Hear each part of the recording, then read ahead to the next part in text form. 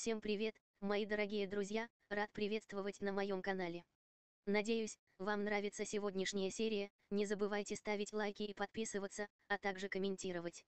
Не забывайте, у меня есть телеграм-канал, заходите туда, можете со мной поговорить и задать мне какие-то определенные вопросы. Что? Недоуменно вздрогнул на этот приказ Немота. Все происходящее походило на какой-то сюрреализм, а неизвестный в красной толстовке с каждой секундой казался все более сумасшедшим, что не могло не напрягать. 5. 4. Недвусмысленно начал обратный отсчет Араи, сохраняя в голосе холодные и равнодушные нотки. «Да понял я, понял». Воскликнул на это Шин, всеми силами стараясь не дергаться. Уж слишком болезненным было ощущение блокировки причуды и последующее восстановление, а чего желания испытывать подобное вновь не было ни капли. Бросив быстрый взгляд на стоящего поодаль Чисаки и не увидев на его лице ничего кроме нешуточного раздражения всей этой ситуацией, Немота, глубоко вздохнув, повернулся к хроностасизу. «Как работает твоя причуда?» «Отвечай». «Моя причуда превращает мои волосы в гибкие и острые часовые стрелки, которым я могу довольно свободно управлять. Сама по себе режущая способность, стрелки, не очень сильна, едва хватает пробить не очень толстый слой одежды, но при попадании по цели, на нее накладывается эффект замедления времени, пока Хроностзис говорил, Рёта про себя отмечал насколько сильна причуда Немота. Вынужденный исповедоваться злодей ни капли не выглядел принужденным, или что-то в этом роде. Скорее, он рассказывал все с каким-то энтузиазмом, казалось искренне заинтересованный в том, чтобы донести эту информацию максимально доступно для вопрошающего. Однако, когда прозвучало слово-сочетание «замедление времени», Араи заметно встрепенулся и, можно так сказать, встал в стойку. Так уж вышло, что злодей с причудой ограниченного влияния на время был не самым значимым из второстепенных персонажей канона и совсем не запал Йоты в память. Тем приятнее было узнать, что объектов исследования в банде Чисаки оказалось больше. Замедление времени. Перевел пистолет на хроностазиса, Акумецу, чем заставил Шина облегченно выдохнуть. Причуда исповеди уже спала со злодея, но, увидев зияющую черноту ствола пистолета и прикинув, что самое основное он уже все равно рассказал, хроностазис не стал отмалчиваться. По крайней мере, других объяснений эффекту я найти не смог, недовольно прошипел мужчина. Ясно. Используй свою причуду на нем, махнул свободной рукой в сторону Немота Араи, не став в этот раз отпускать противника с мушки. А. С превеликим удовольствием. Под разломанной недавним ударом Рёты маской показалась довольно злорадная улыбка. Пусть Хроностазис и понимал, что у его, товарища, в этот раз не было выбора, но он и до этого не единожды использовал свою причуду на других членах банды просто ради потакания собственному эго, чем крайне бесил многих. К сожалению, протекция восстановителя не позволяла кому-либо подкараулить Шина за углом, но конкретно в этой ситуации отказывать себе в удовольствии злодей не стал. Тем более, когда его принуждают под страхом смерти. Заряженная причудой прядь волос с легкостью пропорола все еще держащийся каким-то чудом на голове хроностазиса капюшон. На долю секунды у мужчины мелькнула идея попытаться атаковать неизвестного, но направленный твердой рукой пистолет и клубящаяся тьма под капюшоном не настраивали на рисковые мероприятия, так что, стрелка, устремилась в сторону обреченно замершего немота. Несмотря на всю неприязнь к последнему, хроностазис не был глупцом, да и заскоки его, товарища, бесили злодея не так сильно, как тот любил демонстрировать, оттого заостренная прядь волос устремилась в сторону ноги шина по касательной. После удара, на голени Немота остался неглубокий порез, почти царапина, однако эффект был заметен сразу. Несмотря на то, что хроностазис выбрал самое безболезненное и безопасное, по его мнению, место для удара, укол боли имел место быть и Шин инстинктивно дернулся. Точнее попытался. Судя по всему, замедление времени действительно работало и, что куда важнее, вполне себе, регистрировалось, ощущением векторов из пятого уровня. Насколько Рёта понимал, имело место не частное воздействие, а некое поле, покрывающее заданную попаданием, стрелки, цель и вектора там были. Очень специфические. Если до этого Араи называл вектора, позволяющие ему манипулировать пространством, неправильными, то подобрать слово для темпоральных векторов. Даже «аномалия» будет недостаточно точным словом. А если все же попытаться? Упорядоченный суперхаос и никак иначе. Судя по всему, больше половины векторов в раскрывшейся перед Эспиром восхитительной картине находились если не в состоянии суперпозиции, то что-то в этом роде, ведь иначе как-то объяснить тот факт, что большинство регистрируемых чувствами векторов существовали одновременно в нескольких мерностях Рёта, на данный момент, не мог. Чудовищная по своей сложности матрица не была статична и казалась сложнейшим механизмом, в котором технологии стимпанка соседствовали с современными и откровенной магией, при этом, каким-то образом, все это отлично работало. Хуже всего то, что здесь не было ярко выраженной повторяющейся закономерности. Каждый следующий шаг матрицы полностью отличался от любого другого в, казалось, бесконечной последовательности. Следовательно, просто взять, запомнить и использовать как в случае с матрицами пространства тут не выйдет. Нет, попробовать то можно, но что в итоге получится? Спрогнозировать невозможно. А Раи только и осталось, что раздраженно скривиться под капюшоном. Сколько действует замедление? Спросил Эспер, не сводя взгляда с суперхаоса, и селясь впитать в свою память каждое завихрение и процесс. Каждый раз по-разному. Не лги мне. Почти прорычал Йота, одновременно с чем вмешался в генератор случайных чисел, из-за чего от его фигуры во все стороны разошлись черные молнии. Определить ложь было нетрудно, так как, понаблюдав за состоянием хроностазиса под причудой Немота, Араи зарегистрировал для себя его состояние, правды, и вылавливать на этом фоне несоответствие было несложно. Зависит от степени поражения, тут же дал заднюю, несколько напуганной вспышкой противника злодей. Чем больше я наношу порезов волосами цели, тем длительней будет эффект. Если ты продолжаешь наносить раны уже замедленному противнику, это тоже работает, как я понимаю. Да. Количество целей ограничено. Нет. Рёта с некоторым удивлением посмотрел на хроностазиса. Удивительно сильный персонаж получается. Даже странно, что никаких особых воспоминаний из канона о нем нет. Долго он будет замедлен с тем уроном, что ты нанес. Задал Раи последний вопрос. Еще секунд десять, уже куда увереннее ответил злодей. Ну, тут он немного промазал и времени прошло чуть больше. За процессом распада суперхаоса Рёта наблюдал как бы невнимательнее, чем за всеми прочими ее процессами. Он хорошо себя знал и мог с уверенностью заявить, что удержаться от того, чтобы испытать новую игрушку, он надолго не сможет, так что лучше иметь хотя бы какое-то подспорье для понимания того, как удалить воздействие без крайних методов. Все же, будет опрометчиво считать, что матрица, обнуления ненормальности, которой Эспер до сих пор выключал пространственные аномалии, без нареканий сработает на чем-то, что стократ сложнее. В идеале, нужно бы пронаблюдать этот процесс еще раз, но ситуация и без того накаляется с каждой секундой. Рёта буквально кожей ощущал, что Чисаки вот-вот предпримет что-нибудь опрометчивое, да и основные силы банды, которые парень оставил за спиной уже должны были что-то заподозрить и вполне могут прибыть своему боссу на помощь. А значит, пора заканчивать. Первого, как самого опасного своей непредсказуемостью для себя, Арай нейтрализовал хроностазиса. От такого удобного оружия, как пули, блокирующие причуды отказываться он не стал и без лишних церемоний выстрелил злодею в плечо. После этого события понеслись вскачь. Немота сместился в сторону, закрывая своим телом рванувшего к пострадавшему подчиненному восстановителя.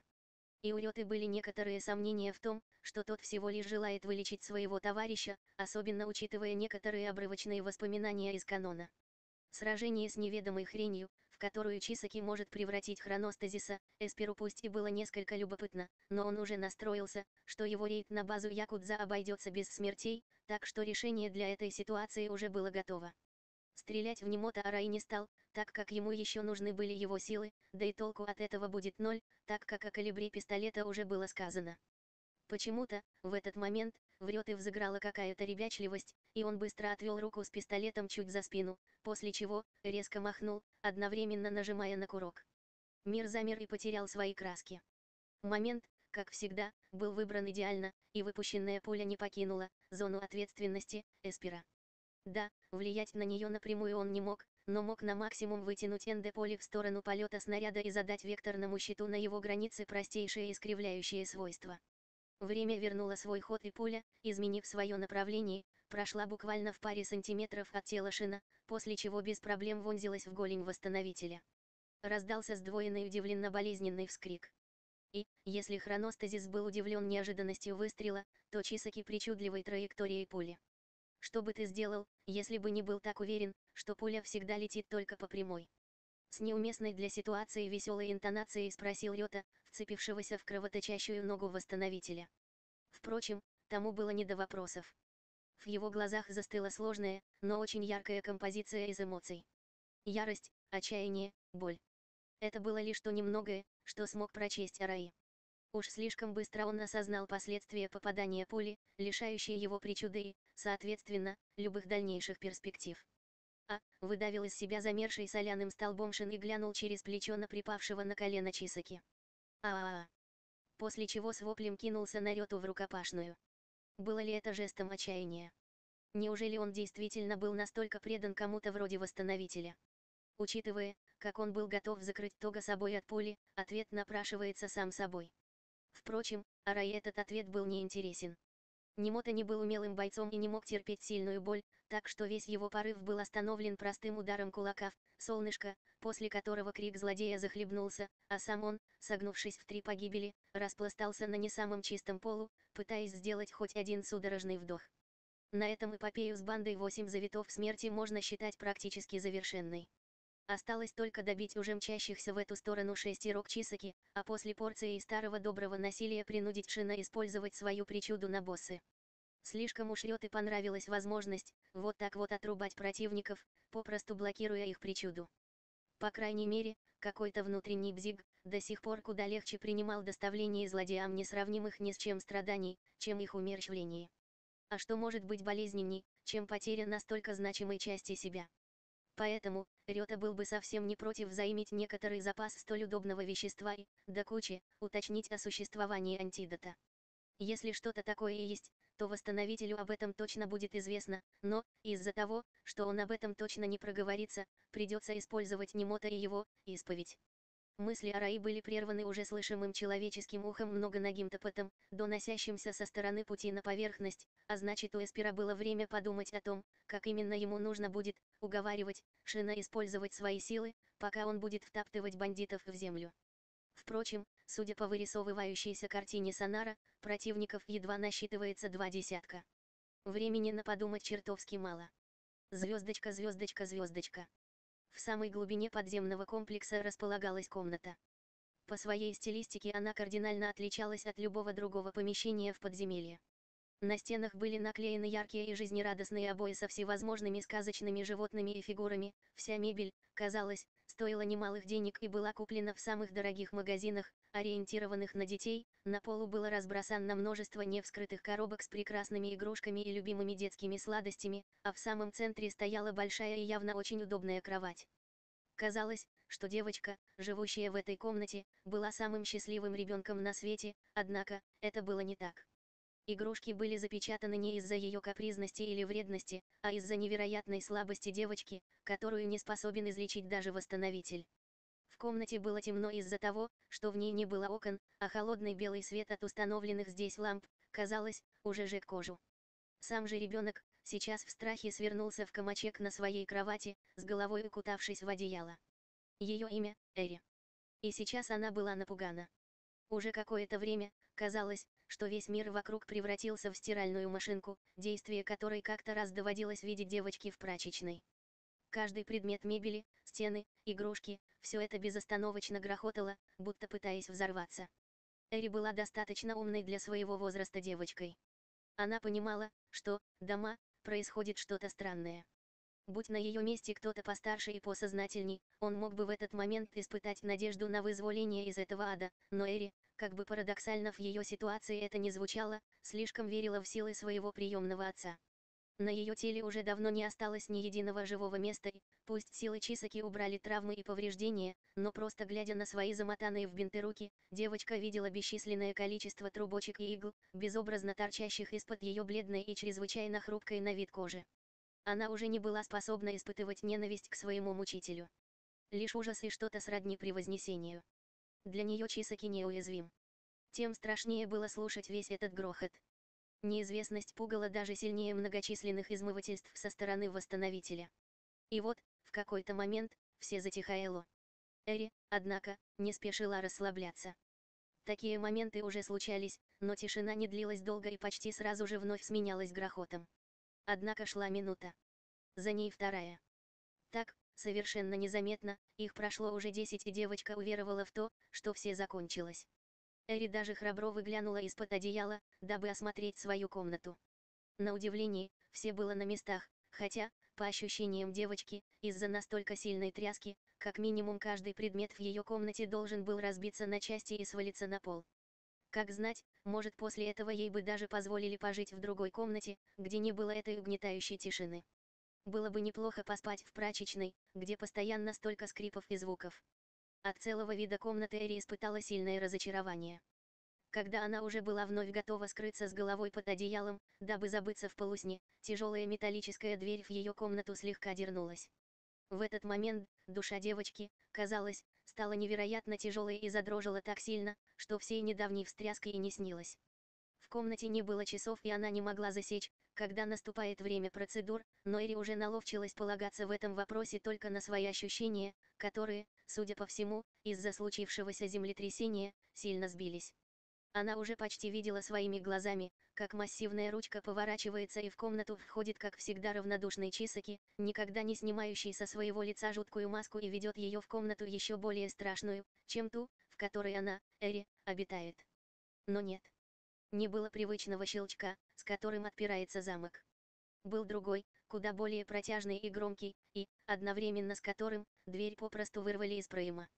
В следующую секунду в комнату шагнул человек, которого она еще никогда не видела. Так, надеюсь, хоть эта дверь верная.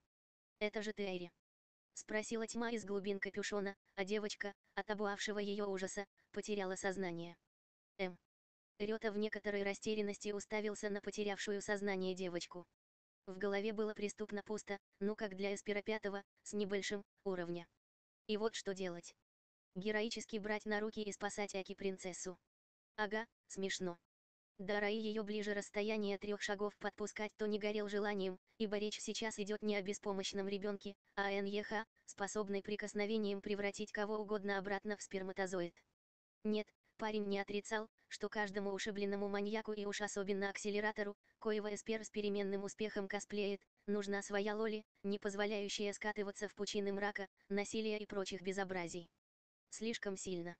Но, как-то вот вроде нафиг не надо. И вообще Араи еще слишком молод, чтобы нянчиться с детьми. Особенно, теоретически, способными распылить его на атомы детьми. А что векторный щит, спросите вы. А вот не был Йота уверен в том, что тот поможет. Скорее даже наоборот, он более чем опасался вероятной реакции при столкновении темпоральной причуды Эри и структурированного НД-поля Эспера. А вдруг рванет? Или еще что похуже. Почему-то, первое, что приходило в голову при, похоже, это столкновение пространственной аномалии с тем самым полем суперхаоса, созданным хроностазисом. При попытке представить итог любые вычислительные мощности попросту пасовали и компьютер имени Эспера пятого уровня выдавал синий экран. Ну хоть дымиться не начинал. Араи раздраженно потер переносицу, изо всех сил зажмурив глаза, после чего бросил несколько неуверенный взгляд в сторону выхода из комнаты, на пороге которого стояла здоровенная спортивная сумка, до краев набитая тем самым блокирующим причуды веществом. Пришлось очень постараться, чтобы заставить Немота использовать свои силы на Чисаки, но, как уже говорилось ранее, он не умел терпеть сильную боль. Впрочем, пришлось постараться также, чтобы не переборщить и сохранить злодею ясность мышления. А то было бы обидно, если бы тот из-за поехавшей крыши не смог использовать причуду. Как оказалось, никакого контрпрепарата у восстановителя не было. Да и зачем, когда он сам по себе ходячий, антидот. Вернее, был им. Видимо, он даже представить не мог, что когда-то сам попадет под действие блокиратора причуды. Небрежность или самоуверенность. Думается, даже он сам не знал ответа на этот вопрос. А сейчас, Потеряв свою причуду, он уже не способен синтезировать нужный препарат. Это даже, в некотором роде, иронично, что он, тот кто больше всего желал искоренить из современного общества фактор причуд, больше всего на него же полагался. Рёта вновь перевел взгляд на девочку. Приводить ее в чувство у него нет времени, последние 15 минут его сонар улавливал звуки сирен, которые издавали окружившие территорию Чисаки полицейские машины. Как-то они не сильно торопились, но и уходить, не выполнив основную цель своего штурма, как-то не хотелось. Впрочем, Араи и так получил неприлично много профита с этой вылазки. Полная сумка препарата, блокиратора причуд, матрица суперхаоса от хроностазиса, гарантия тога, что Чисаки не вылечит ВЗО своими способностями. Стоп. А способен ли все за одного украсть заблокированную причуду? Черт возьми, точка. Пронеслось у Рёты в голове, пока он лихорадочно обдумывал неожиданно свалившийся на голову вопрос. Как именно повреждает препарат фактор причуды? Что если даже после блокировки ее, причуду, можно украсть? Звуки с поверхности становились все громче и, судя по всему, полицейские обнаружили проход в подземную часть базы Якудза. Времени было катастрофически мало.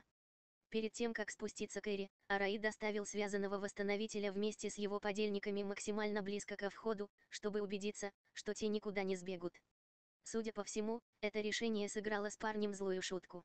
С девочкой тоже особо ничего не поделаешь, но это, на самом деле, большой проблемой не было.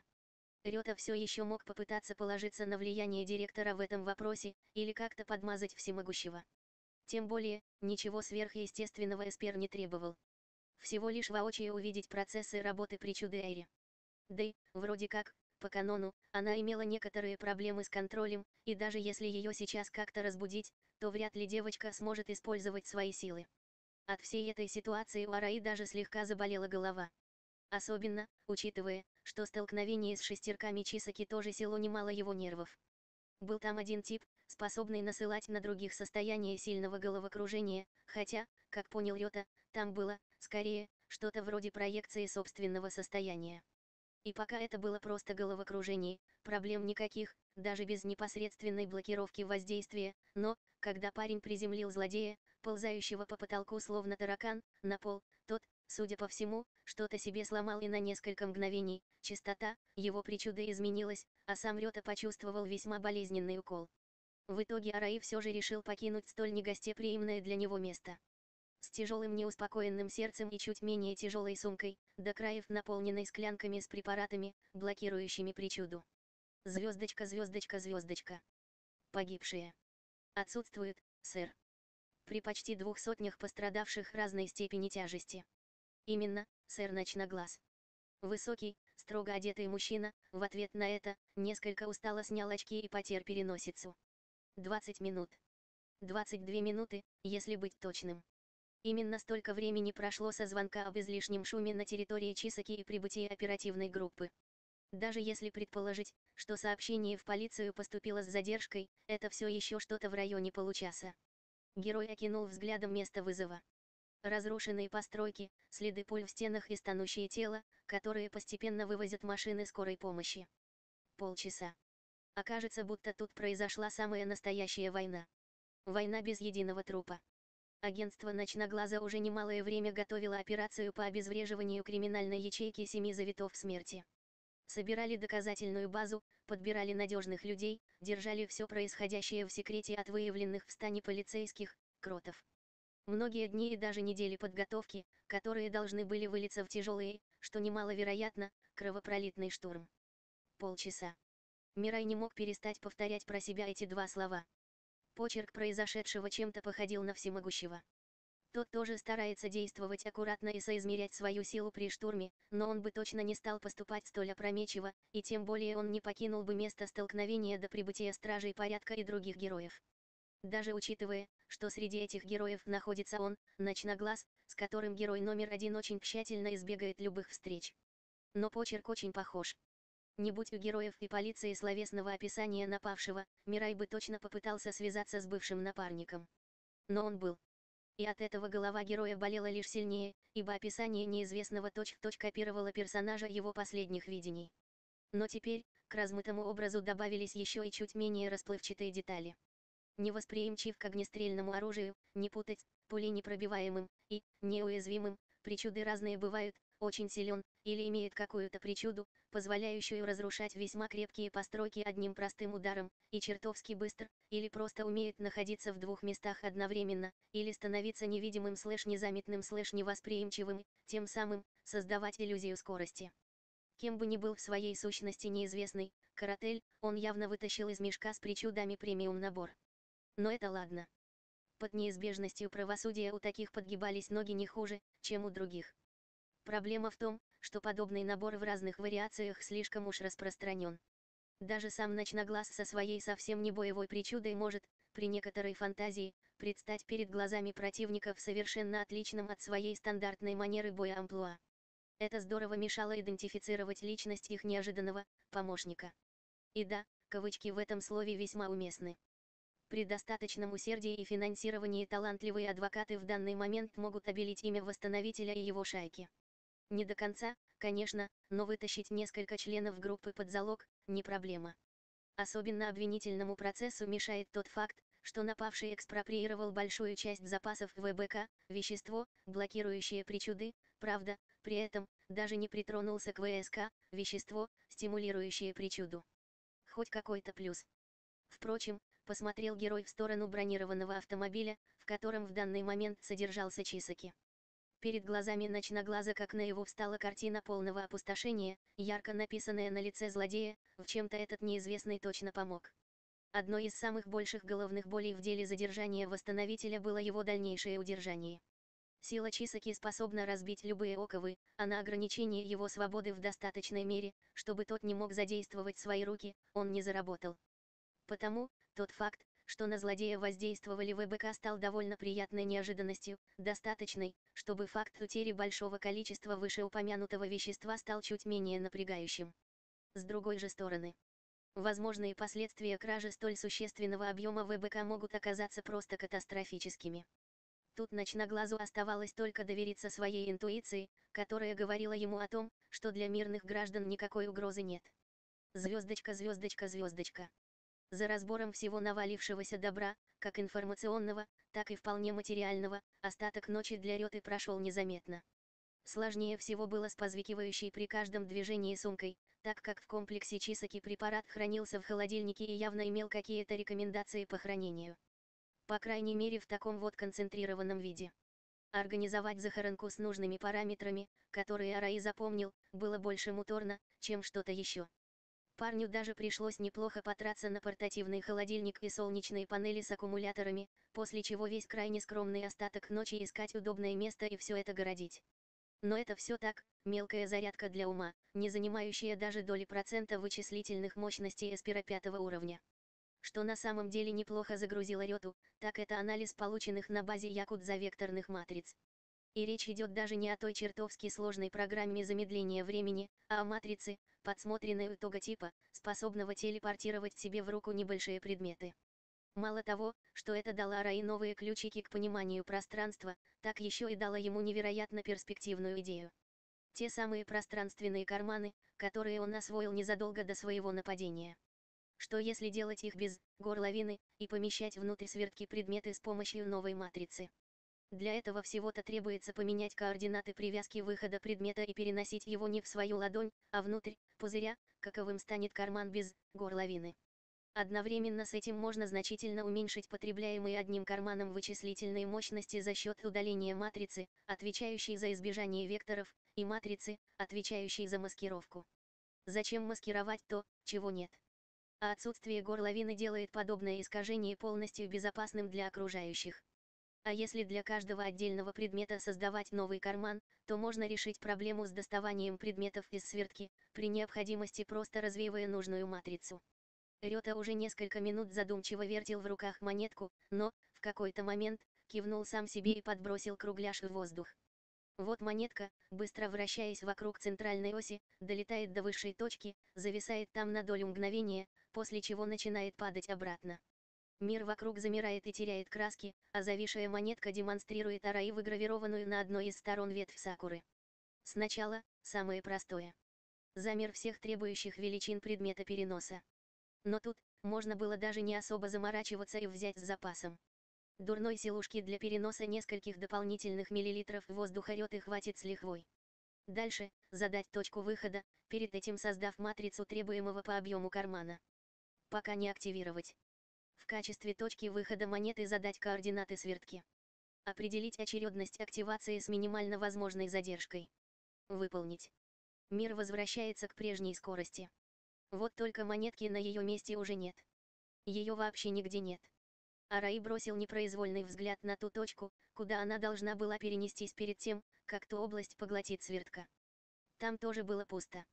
Еще немного повертив головой и убедившись, что нигде нет обрезанных кусков никелевого кругляша, Рёта выставил вперед руку ладонью вверх, после чего, мысленно поменяв несколько переменных, переместил трехмерную проекцию выходной точки свертки точно над рукой, после чего развеял матрицу. Монетка номиналом 100 йен, без малейшего намека на внешнее повреждение, беспрепятственно упала в раскрытую ладонь. Разобравшись с препаратом и новой способностью, Рёта, недолго думая, отправился спать. Благо сегодня был выходной, и он мог позволить себе немного отдохнуть. А Раиба и раньше отправился на боковую, но слишком уж будоражила идея с усовершенствованным инвентарем. Отложить ее на потом, банально, было выше его сил.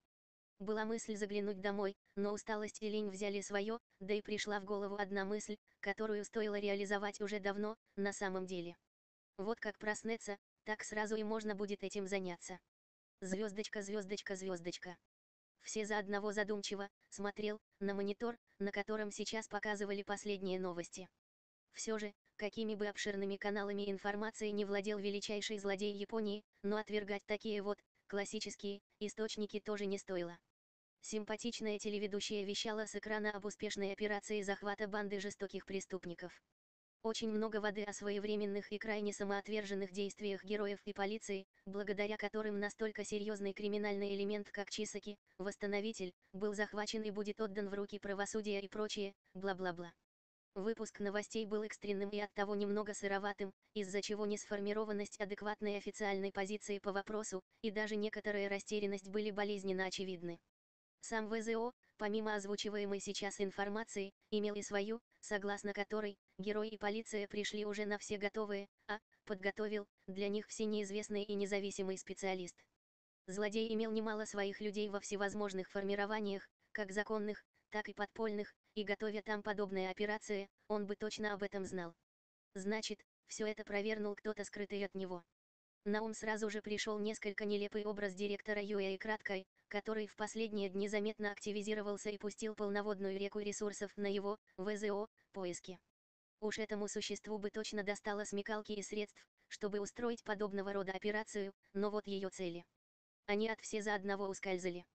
Неужели и правда лишь желание обрести дополнительный довод в виде довольно интересного препарата Чисаки? Или же они руководствовались опасением того, что восстановитель оправдает свое прозвище и исцелит ВЗО? Если это так, то хорошо, значит сторона героев даже приблизительно не представляет весь тот урон, который понес когда-то величайший злодей.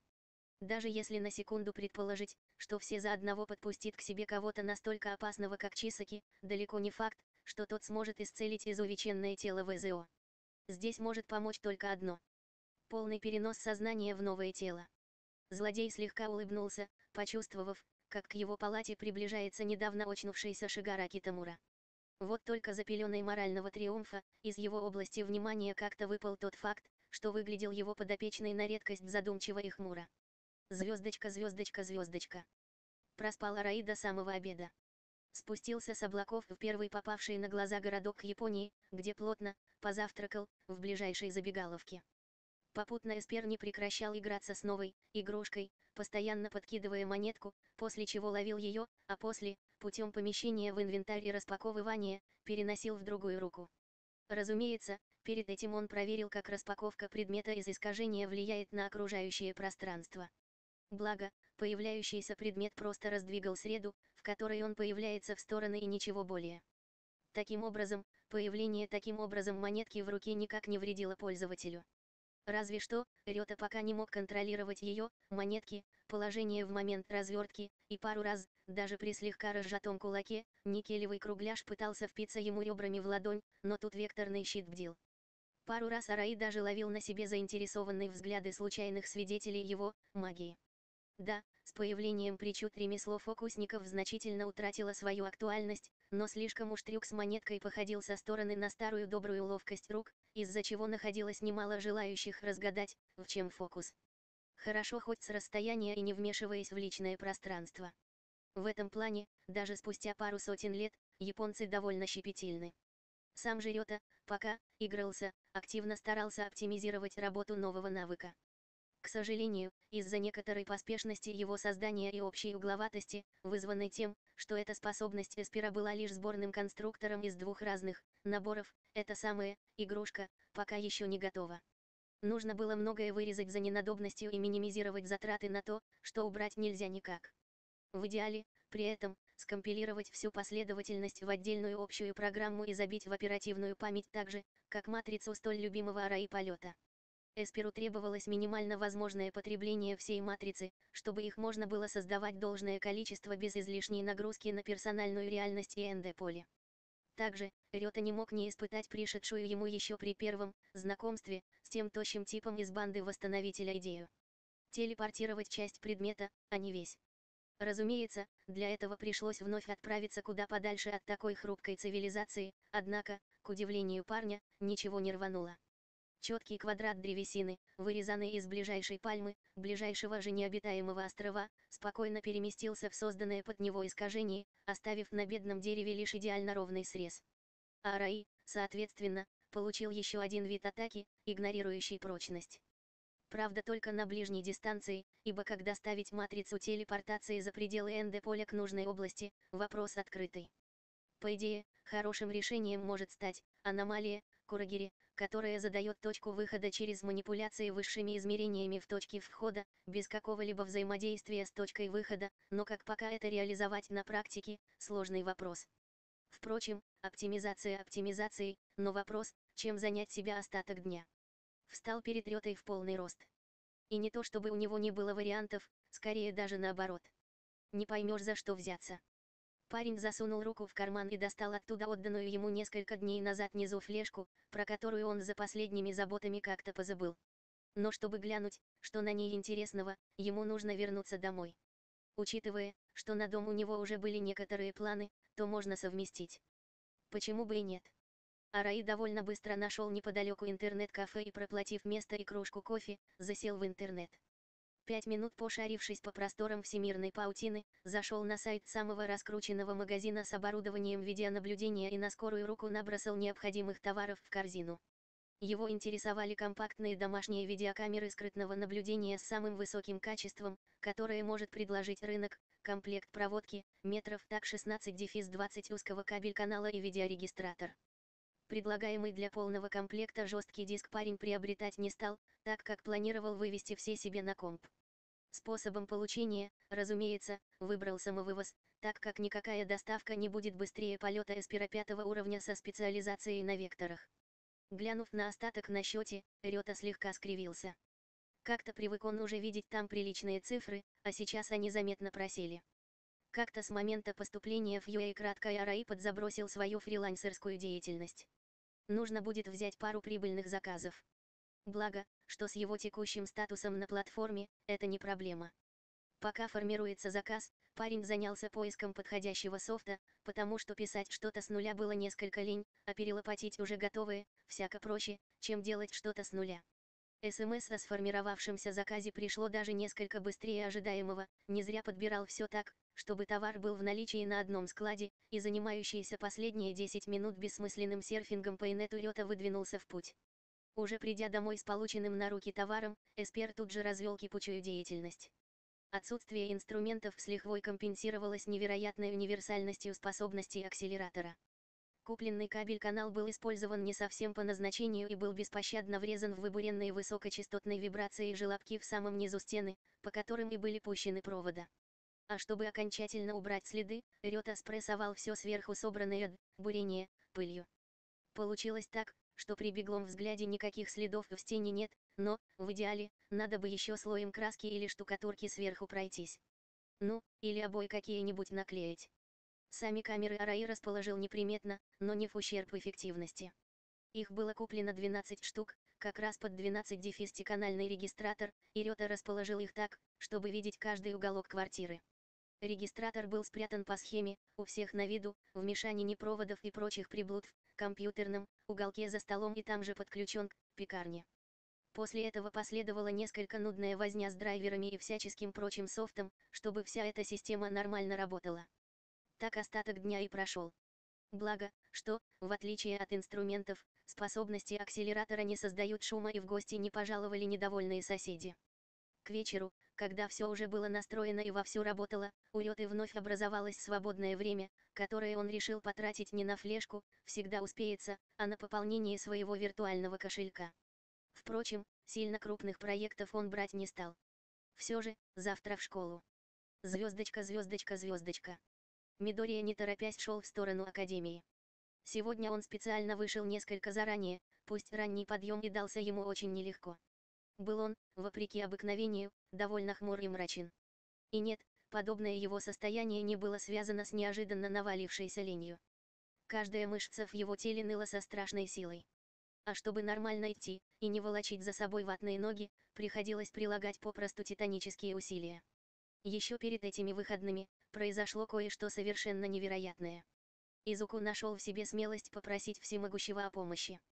Потребовалось немало времени, чтобы до него дошло, что, действуя самостоятельно, он еще очень долго будет оставаться не более, чем обузой для других. Сложно сказать, что именно привело его к этой мысли, но зато школьник мог с легкостью сказать, кто. Араирета. Акселератор. Невероятно сильный, порой пугающий до дрожи, но совершенно точно тот, на кого можно положиться. Что во время инцидента в комплексе катастроф, что во время битвы с убийцей героев, что во время встречи со злодеем в торговом центре, что во время нападения на летний лагерь. Каждый раз он без страха выходил вперед и брал все на себя. Стыдно говорить, но его образ уже успел для Мидории встать куда выше любого героя, кроме, конечно, всемогущего. А еще его совет. Один короткий разговор и Изуко уже ясно видел путь к тому, как стать сильнее. Как-то само собой пришло осознание, что ему нужна помощь. Если уж даже тот, кто ничего не знает о ситуации вокруг всемогущего и его причуды смог дать такой полезный совет, то что уж говорить об изначальном владельце невероятной силы один за всех. Сложно сказать, каких усилий стоило парню оторвать своего кумира от его несомненно куда более важных, чем он, какой-то мальчишка, дел, но ему удалось. И, что удивительно, всемогущий без проблем, даже как-то буднично, согласился. Словно только этого и ждал. И вот так, в тренировках с героем и прошли оба его выходных.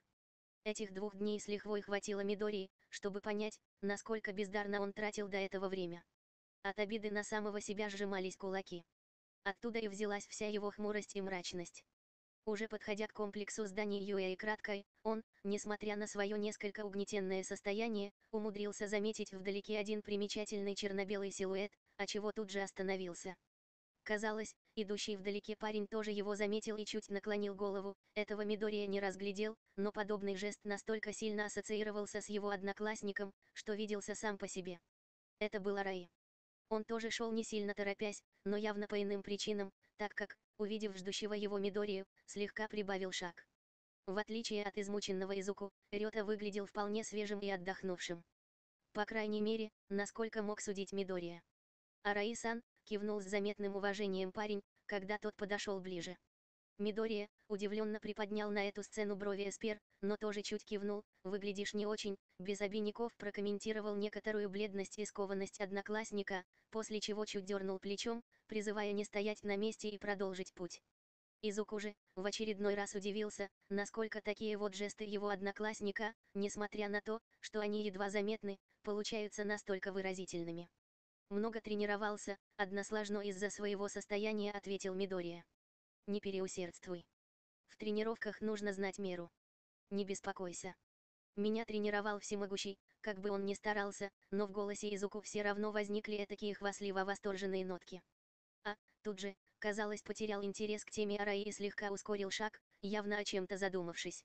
Мидории же, только и оставалось, что страдальчески вздохнуть про себя, и на своих ватных ногах постараться догнать одноклассника. В академии все было как обычно, за тем исключением, что столь полюбившийся Рёты, фокус, с исчезновением пойманной монеты и появлением ее в другой руке, вызвал среди школьников настоящий фурор. Больше всего были озадачены, разумеется, Каминари и Ашида, которые вознамерились разгадать суть трюка любой ценой и почти весь учебный день ходили за парнем как привязанные. Цуй уже смотрела на происходящее своим привычным ничего не выражающим взглядом, в котором Араи хоть и с трудом, но смог выловить нотки удивления. Тогда на пляже он достаточно пояснил девушке насчет трудностей работы с пространством, оттого тот факт, что за один день, ее друг так сильно продвинулся в своих изысканиях показался Асуй несколько подозрительным. По крайней мере, она пусть и предполагала, что в фокусе как-то замешаны манипуляции пространством, но не была уверена, что это на сто процентов так. Срёт и бы сталось научиться выполнять трюк чисто за счет ловкости рук, дабы подшутить над девушкой. Этакая шутка в шутке. Как раз в стиле Араи. Так что, пусть Цуи не была столь же навязчива, как вышеназванная парочка, наблюдала за руками одноклассника она с не меньшим вниманием. Некоторой напряженности в будни подростков вносило только несколько необычное расписание. Общеобразовательных уроков в этот день поставили подозрительно мало, а прямо за этой самой малостью следовал классный час, за которым также следовало два занятия, обозначенные в расписании как некие специальные героические тренировки. Подобного у учеников класса 1 еще не было, так что, новинку, они ждали с нетерпением. Особенно, учитывая, что погода на улице обещала стать дождливой, соответственно, занятий на стадионе не предвидится. Но долго неведение не продлилось. Заинтригованные школьники, после окончания общеобразовательных предметов, никогда не расходились и когда звонок только-только прозвенел, уже все сидели на своих местах с интересом поглядывая на входную дверь и ожидая появления своего классного руководителя. Правда, в отличие от учеников, Айзава заставил себя немного подождать, опоздав где-то на пять минут, чем чуть не довел еду до белого коленя. Итак, задумчиво перевел взгляд с бумаг, с которыми он зашел в класс, на учеников сенсей. Хм, несколько растянул он паузу. На этом классном часе, изначально, планировалось уделить время для вашего ознакомления с особенностями учебного плана на ближайшее время и также ознакомить вас с понятием временной геройской лицензии, но, в связи с событиями этой ночи, директор решил несколько ускорить темп и подготовленные на конец недели дополнительные спецзанятия были перенесены на сегодняшний день. А что произошло этой ночью? Несколько неуверенно подняла руку Очика, пока остальные школьники вопросительно переглядывались, в надежде, что кто-то сейчас поведает им интересующую тайну. Даже Рёта сейчас несколько недоуменно смотрел на учителя и не понимал, о каком событии идет речь. Все же банду Чисаки он разнес уже, получается, позапрошлой ночью, а о каких-то других громких событиях, которые как-то могли относиться к классу один, а парень не слышал. Да и не помнил из канона, если уж на то пошло. Сегодня в два с половиной часа ночи было совершено нападение на учреждение удержания опасных пользователей причуд. В результате нападения, большая часть заключенных, содержащихся в строгих условиях, незаконно покинули стены учреждения. Сбежали, проще говоря, помахал перед лицом связкой бумаг Айзава. По косвенным данным, среди нападающих был замечен злодей по имени Шигараки, в этот момент, почти все взгляды в классе, практически синхронно пересеклись на привычно холодном лице Араи. Содержащаяся в учреждении группа злодеев, находилась в не самом дееспособном для побега состоянии, из-за чего, можно сказать, их вынесли оттуда на спине, из-за чего, опять же, можно смело делать очевидное предположение. Именно за ними туда и пришли, раздался по затихшему классу леденящий голос Рёты. Верно. А это значит, что после их восстановления, Лига Злодеев снова может взяться за старые, да и прочие сбежавшие из-под наблюдения преступники там не просто так сидели. По этой причине, в ответ на повысившийся выше нормы уровень угрозы, директор издал указ о незамедлительной аттестации всех учеников и, в соответствии с результатами этой аттестации, дальнейшем предоставлении им временной геройской лицензии обильно сдобренная пусть и не очень мудренным, но все же вполне канцелярским языком речь Айзовы без каких-либо проблем стянула на себя внимание всех учеников. Видимо, сказался тот факт, что обычно учитель предпочитал заметно более лаконичную манеру речи. Геройская лицензия – это большая ответственность, продолжил сенсей с серьезным видом. После ее получения, от вас и ваших действий будут зависеть чужие жизни. Разумеется, экзамен на получение он и является очень строгим. И даже временную лицензию получают, в лучшем случае, только половина из претендентов. После этих слов по залу тут же пошли настороженные и даже несколько недоверчивые шепотки. В манере преподавания Айзовы есть один значительный минус, все его заявления о возможном отчислении, или громкой неудаче, начинают восприниматься учениками с заметным скептицизмом. В связи со всем вышесказанным, вынужден вам сообщить, скорчил особенно хмурое лицо мужчина, отчего напряжение в классе мгновенно выросло на пару пунктов. Что сегодня наш учительский состав проследит, чтобы каждый из вас освоил, как минимум два, с этими словами дверь в класс отъехала в сторону. Ваших собственных особых приема. Класс затопило радостными воплями, которые, вошедшая внутрь тройка героев, состоящая из полночи, эктоплазма и цементоса, встретила понимающей ухмылкой. Звездочка, звездочка, звездочка. Спортзал, гамма, или, как его еще называет построивший его Цементос, тренировочный зал мечты. Довольно большое сооружение высотой не меньше 20 метров, в районе 30 метров в ширину и где-то 100 в длину. Разумеется, при желании, Рёта мог бы назвать размеры с точностью до микрона, но ему было слишком лень. А в голове курсировали совсем другие мысли. Объяснение тройки учителей в классе он почти полностью пропустил мимо ушей из-за обилия пафоса. Впрочем, основную суть, которую они пытались донести, он вроде как осознал. По сути, столь громкое явление, как «особый прием», по факту, является лишь несколько поправленным и обозванным пафосным имечком навыком, которым ученик уже обладает в той или иной мере. Никакого особого усиления, от его приобретения, как можно понять, получить почти нереально. Кроме разве что того случая, когда ты слишком туп, чтобы понять, как использовать собственные способности и тебе помогают окружающие. А ты чего стоишь? Подошел к задумавшемуся парню клон эктоплазма. К этому моменту Цементос уже здорово перелопатил рельеф спортзала, превратив его в нагромождение каменных высот и низин. Учитывая, что с высот на всех взирали клоны эктоплазма, вся эта сцена как-то неуловимо наполнила рет и момент из Блича, где Ичиго получал банкой. Забавные аналогии с особым приемом. Парень не помнил имя автора манги МГА, но заочно уже вынес ему вердикт плагиатора. А что мне делать? Чуть приподнял бровь вырвавшийся из своих мыслей Араи. То же, что и все остальные, повел руками по сторонам герой. Посмотреть и правда было на что. Многочисленные клоны распределились по всей площади зала и, используя новосозданные неровности рельефа, разделили всех учеников, и теперь каждый тренировал себе особый прием. Рёта молча чуть наклонил голову к плечу, пару секунд посверлил стоящего напротив клона взглядом, выпрямился, подошел к ближайшей небольшой, два с половиной метра в высоту и обхватом около тех же двух метров, скали, коснулся ее раскрытой ладонью. Уничтожение скалы. Мир вокруг замер и потерял краски. Рёте показалось, что в очередной раз использовать вибрацию будет как-то неинтересно и он создал матрицу перемещения предмета от Тащега. После только оставалось, что телепортировать в отдельно созданное пространство тончайшие листы камня, которые Арай изымал в случайном порядке, прямо изнутри глыбы, создавая иллюзию, будто скалу разрубили на части. После последовательного повторения операции перемещения около шести тысяч раз, парень, чувствуя некоторую скуку от процесса, решил, что на этом выпендрежа хватит и вышел из состояния персональной реальности. Мир вновь стал цветным и снялся с паузы, а мигом спустя скала, которой Рёта касался рукой, развалилась на кучу мельчайших обрезков. «Пойдет».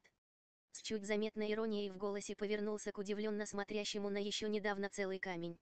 «Если нет, то могу еще уничтожение горы продемонстрировать», вовсю поливал учителя скепсисом парень. Эктоплазм же, стоит отдать ему должное, быстро соотнес в голове масштабы слов, скала и гора, после чего примирительно поднял раскрытые ладони. Не стоит. КХМ. Думаю, ты испытываешь некоторый скепсис по поводу того, чем сейчас все занимаются, сделал пробный, но чрезвычайно меткий выстрел мужчина. Немного, чуть кивнула Раи. Похоже на игру детей в песочнице. Вот именно, на полном серьезе ответил на это герой. Особый прием – это что-то вроде визитной карточки героя, не менее важной, чем даже его костюм. Название особого приема кричат дети, когда играют в героев, оно всегда попадает в заголовок, когда герой совершает что-то значимое. Некоторые люди могут стать фанатами особого приема, при этом будучи весьма равнодушными к тому, кто этим приемом владеет. Не обязательно, чтобы он был избыточно сильным. Достаточно, чтобы он прочно ассоциировался с твоим героическим образом, эктоплазм задумчиво потер скрытый за сплошной маской подбородок. Думаю, для тебя не будет особой проблемы еще и с тем, чтобы сделать прием достаточно адаптивным к конкретной ситуации. Ты не поверишь, насколько быстрее набирает рейтинг герой, использующий для победы над злодеем особый прием, чем герой, побеждающий за счет базовых навыков. Мини-лекцию героя Рёта слушал с откровенным интересом. Как-то он до этого не задумывался о подобной подноготной всех этих пафосных выкриков, которыми, порой, сопровождают даже насквозь обычные удары кулаками некоторые слабые герои. А что если показушное выкрикивание суперприема противоречит тому амплуа, которое я собираюсь поддерживать? Стиль старателя, да. Чуть хмыкнул герой. Я приблизительно понимаю, какое впечатление ты хочешь составить у людей. Эктоплазм окинул геройский костюм подопечного беглым взглядом. Черно-белые тона, сложное механическое имя и холодный взгляд, будто дуло наведенного на голову пистолета. Тебе и правда не подойдет что-то мейнстримное. Отталкивайся от того, что есть, чуть улыбнулся герой, что с его маской смотрелось довольно жутко. Думаю, тебе пойдет образ героя, которому в большинстве случаев даже нет смысла прибегать к особому приему. Разработай критерии, при которых его использование будет иметь смысл, чтобы каждое его тобой применение становилось праздником у фанатов. Как всемогущий, неожиданно завершил свой спич эктоплазм, заставив Рёту удивленно моргнуть. А ведь в этом что-то есть. Символ мира достаточно силен, чтобы подавляющее число проблем решать лишь одним своим появлением, а использование им его суперприема и вовсе стало большой редкостью. Думаю, я дал тебе достаточно пищи для размышлений. Тебе осталось лишь переварить ее. КХМ, чуть запнулся эктоплазм, видимо поняв, что завел сам себя в словесную ловушку и фраза, выдави из себя что-то материальное, после слов «перевари пищу для размышлений», будет смотреться недостойно профессионального героя и покажи им всем. Вывернулся напоследок герой, после чего поспешно отошел в сторону, видимо, чтобы Арай не заметил его оплошности. Рёта провожал клона смеющимся взглядом, очевидно, довольно быстро осознав всю подоплеку. Звездочка, звездочка, звездочка. Даби с трудом раскрыл глаза. Голова жутко гудела, а ворот будто насыпали несколько горстей песка. Каха. Пхить, еле-еле выдавил он сквозь сухие губы. К счастью, его поняли и уже через пару мгновений поднесли к его рту вожделенную бутыль воды. Утолив убивающую его жажду, парень незаметно проверил руки на предмет фиксации, не обнаружив никаких ограничителей его свободы, мысленно подготовился к бою, после чего скосил взгляд вправо. Боевое намерение тут же схлынуло, оставив лишь легкое облегчение. Рука, держащая бутылку, принадлежала Шигараки Тамури, хмуро глядящего куда-то в сторону. Отодвинув уже опустевший сосуд, вместе с бледной ладонью в сторону, Даби, ценой огромного волевого усилия, смог подняться на локтях и осмотреться. Он не узнал это место, но в этом нет ничего удивительного. Мало ли сколько бас имеет в своих закромах принявшая его Лига Злодеев. Помимо него, в комнате, судя по всему, переоборудованной под лазарет, располагалось еще несколько кроватей, в которых располагались прочие участники нападения на летний лагерь. Сколько прошло времени? С трудом ворочая челюстью спросил Даби. «Достаточно», — хмуро ответил Шигараки, так и не посмотрев в его сторону. «Ясно. Урод сегодня не очень общителен», — хмыкнул про себя парень. «Я проснулся первым». Спросил уже вслух. «Да». Приподнявшись еще повыше, чтобы понять, кто именно лежит на кушетках, Даби оглядел своих, соратников, мысленно посчитал общее количество членов организации и тут же завалился обратно на подушку, задумчиво смотря в потолок. Твейс. Смог уйти еще в лагере. Тага. Не так сильно пострадала. В ее нахождении здесь нет нужды. Фокусник. Тоже ушел. И Прит. Вот и меня интересует тот же вопрос. Даби перевел взгляд на собеседника и впервые за последние несколько минут наткнулся на взгляд его багровых, с какими-то темными тонами глаз. И я хочу знать на него ответ.